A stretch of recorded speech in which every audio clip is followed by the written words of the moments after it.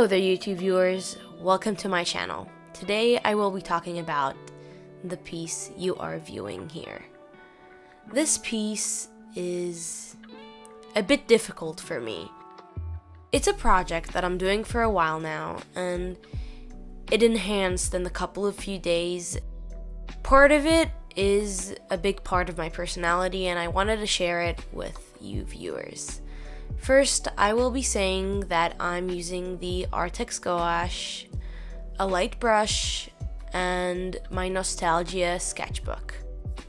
I will be talking about this piece and calling it beating.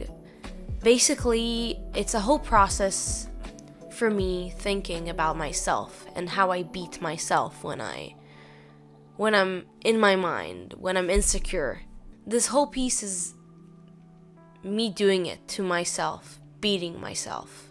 It occurred to me on a few days where I overloaded myself. I had an exhibition, I was organizing an exhibition for my whole class, and I was finding myself hard on myself. I was beating myself over things that I shouldn't have been beating myself on. Things that are not necessarily my problem or my issue or my fault. And I've been finding myself saying to myself, You are at the blame. You shouldn't have done that. Or just blaming myself. So I've decided to do this piece. It's a whole project. So this is the first sketch of actually this whole project. So this whole project is going to be probably three prints around 70 on 70 on size and this is just a small sketch that became a painting.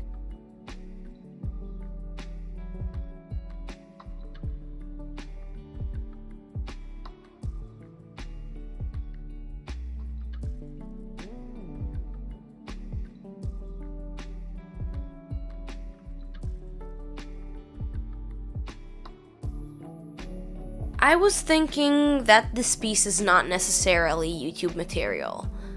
I don't know if people on YouTube enjoy things that, in my opinion, are more broad or contemporary art like. I don't really know if people are into this kind of art on YouTube, and I was thinking to myself, this is a big part of myself, and I want to reveal it on my channel. If I don't reveal it on my channel, I'll be not satisfied with my YouTube channel.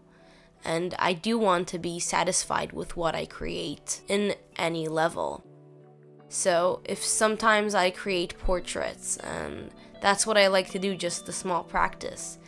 And sometimes I create a more meaningful pieces that reflect my own personality or things that are reflected on my life or has influenced my life in one way or another.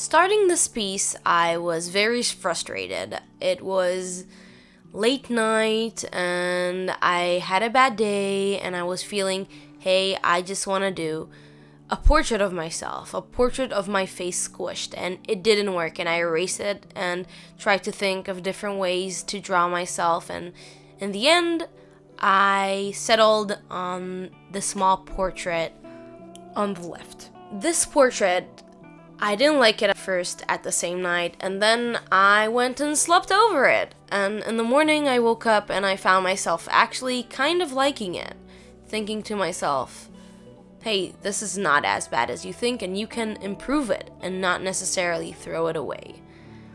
So I've decided that moment that I'm developing this idea of me hating my art or me beating myself over things and blaming myself and making it the piece of itself. Um, the second one, I took a reference picture from a video game and I put my hair, the style of how I usually draw my hair, on it so it looks like I am beating. I'm not really sure if I like this piece at whole. I'm hoping that I won't have doubts with my art soon, but I guess that it's part of being a human that does art. I don't know if to call myself an artist, but it's part of being a person to doubt yourself and the things you're doing.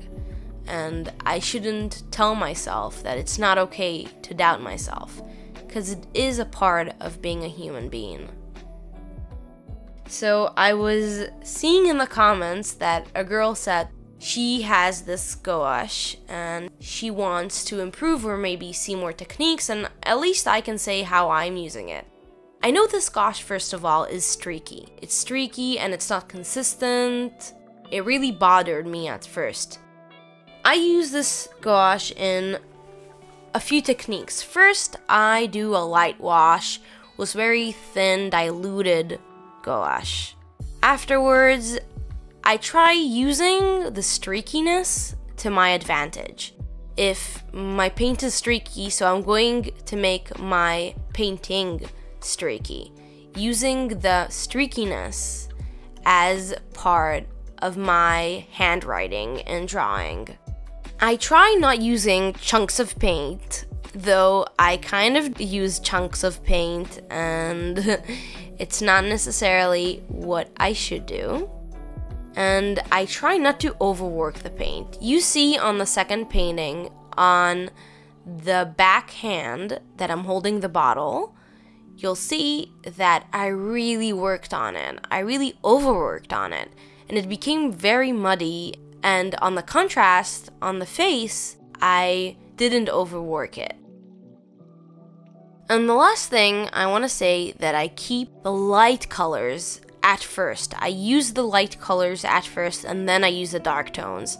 I think that's the way I use these paints. I think that other paints are kind of easier to use, less cheaper paints like the Winsor & Newton gouache or the Holbein gouache, but these paints, you can use them for anything and them being hard is actually a good practice for me to develop my style of art or just practice a lot.